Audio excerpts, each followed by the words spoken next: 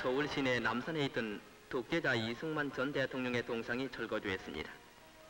그런데 이 동상은 지난날 자유당 간부들에 의해서 근 2억 원이나 되는 막대한 돈을 들여서 세워진 것인데 이 육중한 동상이 높인 좌대로부터 땅에 떨어질 때는 독재자의 말로를 풍자하는 극적인 장면이었다고 합니다.